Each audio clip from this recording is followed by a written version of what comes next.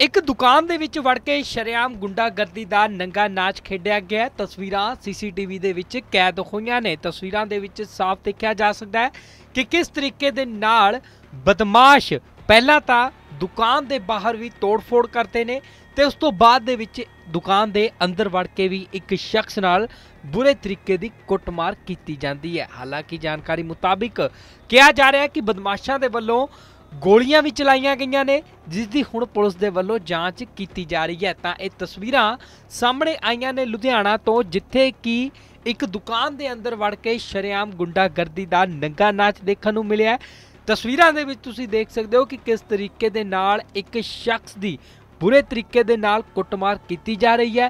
ਹਾਲਾਂਕਿ ਲਾਠੀ ਡੰਡਿਆਂ ਦੇ ਨਾਲ ਇਹ ਲੈਸ ਹੋ ਕੇ ਬਦਮਾਸ਼ ਪਹੁੰਚੇ ਸੀ।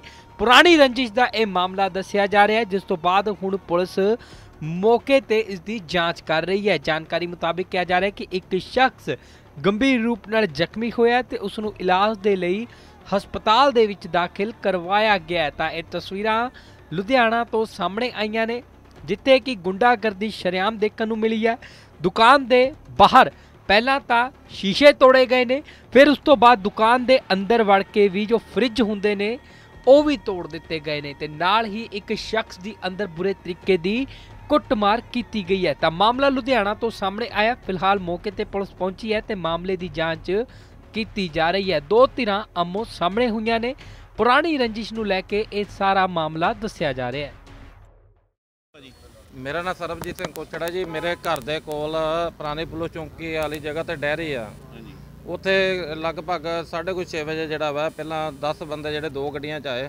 ਹਾਂਜੀ। ਤੇ ਬੰਦਿਆਂ ਨੇ ਆ ਕੇ ਜਿਹੜਾ ਵਾ ਤੋੜਪਨ ਕੀਤੀ ਉਹਦੀ ਸੀਸੀਟੀਵੀ ਫੁਟੇਜ ਜਿਹੜੀ ਆ ਉਹ ਸਾਹਮਣੇ ਸਾਰੀ ਆ ਗਈ ਆ। ਤੇ ਉਸ ਤੋਂ ਬਾਅਦ ਜਿਹੜਾ ਵਾ ਇੱਕ ਬੰਦਾ ਕਹਿ ਕੇ ਗਿਆ ਇੱਥੇ ਜਿਹੜਾ ਜਮਾਟੋ ਵਾਲਾ ਵੀ ਜਿਹੜੇ 40 50 ਬੰਦੇ ਨੇ ਉਹ ਮਾਰਕੀਟ ਦੇ ਵਿੱਚ ਖੜੇ ਹੋਏ ਨੇ। ਅੱਛਾ ਜੀ। ਤਾਂ ਉਹਦੀ ਜਿਹੜੀ ਤਲਾਹ ਹੈ ਪੀਸੀਆਰ ਵਾਲਿਆਂ ਨੂੰ ਦਿੱਤੀ ਬਲਕਾਰ ਸਿੰਘ ਜਿਹੜੇ ਆਈਓ ਸੀਗੇ ਉਹਨਾਂ ਨੂੰ ਵੀ ਦਿੱਤੀ। ਤਾਂ ਫਿਰ ਪੀਸੀਆਰ ਵਾਲਿਆਂ ਨੇ ਦੋ ਤਿੰਨ ਗੇੜੇ ਮਾਰੇ।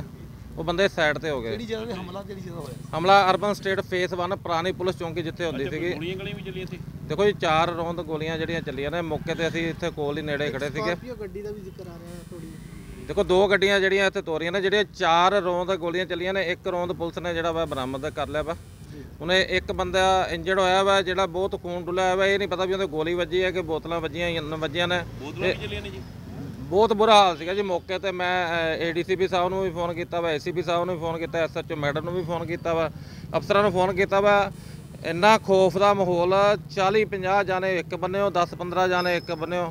ਇੱਥੇ ਕਿਤੇ ਗੋਲੀਆਂ ਚੱਲਦੀਆਂ ਪਈਆਂ ਨੇ, ਇੱਟਾਂ, ਪੱਥਰ ਚੱਲਦੇ ਪਏ ਨੇ ਲਾਅ ਐਂਡ ਆਰਡਰ ਦੀ ਸਥਿਤੀ ਬਿਲਕੁਲ ਹੀ ਜਿਹੜਾ ਵਾ, ਅੱਧਾ ਘੰਟਾ ਘੱਟ ਤੋਂ ਘੱਟ ਜਿਹੜਾ ਵਾ, ਇੱਥੇ ਉਹ ਆਪਣੇ ਮਨ ਮਨ ਹੀ ਕਰਦੇ ਰਹੇ ਜਿਹੜੇ ਮੌਕੇ ਤੇ ਅਫਸਰ ਆ, ਜਿਹੜੇ ਤੁਸੀਂ ਆਮ ਆਦਮੀ ਪਾਰਟੀ ਤੋਂ ਬਿਲੋਂਗ ਕਰਦੇ ਹੋ, ਕੀ ਲੱਗਦਾ ਅਜਿਹੀ ਘਟਨਾ ਵਾਪਰਨੀ ਕਿਤੇ ਨਾ ਕਿਤੇ ਸਰਕਾਰ ਤੇ ਵੀ ਸਵਾਲ ਖੜੇ ਹੁੰਦੇ ਰਜਿੰਦਰ ਜੀ ਸਰਕਾਰ ਦੇਖੋ ਪੁਲਿਸ ਪ੍ਰਸ਼ਾਸਨ ਜਿਹੜਾ ਵਾ ਮੌਕੇ ਤੇ ਜਿਹੜਾ ਵਾ 5-7 ਮਿੰਟ ਬਾਅਦ ਮੌਕੇ ਤੇ ਜਿਹੜਾ ਵਾ ਪਹੁੰਚਿਆ ਜਦੋਂ ਇਤਲਾਹ ਦਿੱਤੀ। ਜਦੋਂ ਗੋਲੀਆਂ ਚੱਲ ਰਹੀਆਂ ਫਾਇਰਿੰਗ ਹੋ ਰਹੀ ਹੈ ਸਭ ਬੰਦੇ ਆਪਣੇ ਜਾਨਾਂ ਬਚਾ ਕੇ ਅੰਦਰ ਜਿਹੜਾ ਵਾ ਜਾ ਰਹੇ ਸੀਗੇ। ਉਹਦੇ ਵਿੱਚ ਪੁਰਾਣੀ ਰੰਜਿਸ਼ ਦਾ ਮਾਮਲਾ ਬਈ ਦੇਖੋ ਜੀ ਅੱਜ ਉਹ ਕਹਿ ਰਹੇ ਨੇ ਮੌਕੇ ਤੇ ਵੀ ਜਿਹੜਾ ਇਹਨਾਂ ਦੀ ਸਵੇਰੇ ਕੋਈ ਜਿਹੜਾ ਵਾ ਬੰਦਾ ਥਾਣੇ ਦੇ ਵਿੱਚ ਇਹਨਾਂ ਦੀ ਮਾੜੀ ਮੋਟੀ ਕੋਈ ਹੋਈ ਸੀਗੀ। ਉਹਨੂੰ ਲੈ ਕੇ ਦੁਬਾਰਾ ਜਿਹੜਾ ਵਾ ਦੋ ਵਾਰੀ ਇੱਥੇ ਲੜਾਈ ਹੋਈ। ਪਹਿਲੀ ਵਾਰੀ ਸ਼ੀਸ਼ੇ ਸ਼ੂਸ਼ੇ ਟੁੱਟੇ ਨੇ ਇੱਕ ਬੰਦਾ ਇੰਜਰਡ ਹੋਇਆ ਵਾ ਦੂਜੀ ਪਾਰਟੀ ਦਾ ਜਿਹੜੇ ਮਾਰਨ ਆਏ ਸੀਗੇ ਉਹਦੀ ਸੀਸੀਟੀਵੀ ਬੰਦੇ ਇੱਥੇ ਦੇ ਹੀ ਰਹਿਣ ਵਾਲੇ ਜਾਂ ਕਿਤੇ ਹੋਰ ਦੇ ਨਹੀਂ ਕੋਈ ਪ੍ਰਾਪਰਟੀ ਦਾ ਕਾਰਨ ਨਹੀਂ ਜੀ ਇਹ ਸਾਰੇ ਗੈਂਗਸਟਰ ਨੇ ਜਿਹੜੇ ਛੋਟੇ ਛੋਟੇ ਵੱਡੇ ਵੱਡੇ ਆਪਸ ਦੇ ਵਿੱਚ ਟੀਮਾਂ ਬਣਾ ਲੈਂਦੇ ਜਦੋਂ ਕੋਈ ਗੱਲ ਹੁੰਦੀ 40 50 ਜਣੇ ਇਕੱਠੇ ਹੋ ਕੇ ਜਿਹੜੇ ਤੁਰ ਪੈਂਦੇ ਨੇ। ਅੱਛਾ ਮਹੱਲੇ ਦੇ ਵਿੱਚ ਬੜਾ ਦਹਿਸ਼ਤ ਦਾ ਮਾਹੌਲ ਆ ਮਹੱਲਾ ਨਿਵਾਸੀ ਕਹਿੰਦੇ ਕਹਿੰਦੇ ਧਮਕੀਆਂ ਦਿੰਦੇ ਜੇ ਕੋਈ ਬਿਆਨ ਦਿੰਦਾ ਤਾਂ ਜੀ ਦੇਖੋ ਜੀ ਜਿਹੜੇ ਮਹੱਲੇ ਵਾਲੇ ਕੋਈ ਵੀ ਬੰਦਾ ਅੱਜ ਕੱਲ ਚਾਹੇ ਬਿਆਨ ਦੇ ਕੇ ਨਹੀਂ ਕਿਉਂਕਿ ਦੁਸ਼ਮਣੀ ਅਗਲਾ ਪਾਉਂਦਾ ਨਹੀਂਗਾ ਕਿਉਂਕਿ ਨਾਮ ਤੇ ਸਭ ਨੂੰ ਪਤਾ ਹੁੰਦਾ ਨਾ। ਜਿਹੜੇ ਗੈਂਗਸਟਰ ਜਿਹੜੇ ਪਹਿਲੇ ਕਾਂਗਰਸ ਸੀ ਹੁਣ ਆਮ ਆਦਮੀ ਪਾਰਟੀ ਦੇ ਨਾਲ ਜੁੜ ਗਏ ਆ ਉਹੀ ਉਹ ਸਾਰੇ। ਦੇਖੋ ਜੀ ਇਹ ਤੇ ਤੁਹਾਨੂੰ ਪਤਾ ਹੋਊਗਾ ਪ੍ਰੈਸ ਵਾਲਿਆਂ ਨੂੰ ਵੀ ਕਿਹੜੀ ਪਾਰਟੀ ਦੇ ਨਾਲ ਜੁੜੇ ਹੋਏ ਨੇ।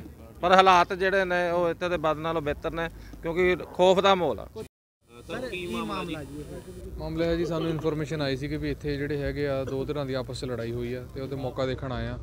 ਤੇ ਬਾਕੀ ਪ੍ਰੀਲਿਮਿਨਰੀ ਇਨਵੈਸਟੀਗੇਸ਼ਨ ਚੱਲ ਰਹੀ ਹੈ ਦੇਖਦੇ ਕੀ ਮੈਟਰ ਕਹਿੰਦੇ ਗੋਲੀਆਂ ਚੱਲੀਆਂ ਕਿੰਨੀਆਂ ਗੋਲੀਆਂ ਇੱਕ ਇੱਕ ਖੋਲ ਸਾਨੂੰ ਜੀ ਬਰਾਮਦ ਹੋਇਆ ਮੌਕੇ ਤੋਂ ਬਾਕੀ ਵੈਰੀਫਾਈ ਕਰ ਰਹੇ ਹਾਂ। ਸਰ ਬੜਾ ਬਲੱਡ ਬੜਾ ਦਿਖਦਾ ਪਿਆ ਬੜਾ ਡੁੱਲਿਆ ਹੋਇਆ ਮਤਲਬ ਬੋਤਲਾਂ ਬੋਤਲਾਂ ਅਸੀਂ ਪੁਲਿਸ ਪਾਰਟੀ ਭੇਜੀ ਹੈ ਜੀ ਮਜਰੂਬ ਦੇ ਬਿਆਨ ਲੈਣ ਲਈ ਸਿਵਲ ਹਸਪੀਟਲ ਲੈ ਕੇ ਗਏ ਨੇ ਉਹਨਾਂ ਨੂੰ। ਤੇ ਉਹਨਾਂ ਦੀ ਪਹਿਚਾਣ ਵੀ ਸਾਡੀ ਸਾਨੂੰ ਨਹੀਂ ਪਤਾ ਕੌਣ ਬੰਦਾ ਜਾਂ ਕਿਹਨੇ ਕੁੱਟਿਆ ਤੇ ਉਹ ਜਾ ਕੇ ਦੇਖਦੇ ਹਾਂ ਸਰ ਪਹਿਲਾਂ ਵੀ ਵਿਆਜ ਇਦਾਂ ਹੀ ਹੋਇਆ ਸੇਮ ਗੱਡੀਆਂ ਤੋੜੀਆਂ ਗਈਆਂ ਨੇ ਇਦਾਂ ਹੀ? ਪਹਿਲਾਂ ਜਿਹੜਾ ਹੋਇਆ ਇਨਸੀਡੈਂਟ ਉਹ ਇਹਦੇ ਨਾਲ ਕਨੈਕਟਡ ਹੈ ਇਹ ਵੈਰੀਫਾਈ ਕਰਨਾ ਬਾਕੀ ਹੈ। ਸਰ ਬੰਦੇ ਕੌਣ ਪਤਾ ਲੱਗਿਆ? ਨਹੀਂ ਜੀ ਹਜੇ ਕੁਝ ਨਹੀਂ ਪਤਾ ਲੱਗਿਆ। ਹਜੇ ਇਨੀਸ਼ੀਅਲ ਸਟੇਜ ਆ ਤੇ ਅਸੀਂ ਪਹਿਲਾਂ ਮਜਰੂਬ ਦਾ ਬਿਆਨ ਲੈਂਦੇ ਆ। ਬਿਆਨ ਲੈ ਕੇ ਜਿਹੜੇ ਹੈਗੇ ਆ ਸ਼ੱਕੀ ਬੰਦੇ ਹੈਗੇ ਆ ਜਿਨ੍ਹਾਂ ਨੇ ਵਾਰਦਾਤ ਕੀਤੀ ਹੈ ਲੜਾਈ ਹੋਈ ਹੈ ਉਹਨਾਂ ਨੂੰ ਛੇਤੀ ਰਾਉਂਡ ਅਪ ਕਰ ਸਰ ਕੋਈ ਬਾਈ ਨੇਮ ਵੀ ਕੋਈ ਬੰਦਾ ਸਾਹਮਣੇ ਆਇਆ ਜੀ? ਨਹੀਂ ਹਜੇ ਤੱਕ ਕੋਈ ਨਹੀਂ ਆਇਆ ਕੋਈ ਸੀਸੀਟੀਵੀ ਆਈ ਸਰ ਸਾਹਮਣੇ? ਟੀਮਾਂ ਲੱਗੀਆਂ ਹੋਈਆਂ ਨੇ ਜੀ ਟਰੇਸ ਕਰ ਰਹੀਆਂ ਸਰ ਮਹੱਲਾ ਨਿਵਾਸੀ ਕਹਿੰਦੇ ਵੀ ਵੱਡਾ ਸਹਿਮ ਦਾ ਮਾਹੌਲ ਹੈ। ਕਹਿੰਦੇ ਹਥਿਆਰ ਲੈ ਕੇ ਸ਼ਰੇਆਮ ਜਿਹੜੇ ਨੇ ਘੁੰਮਦੇ ਸੀ।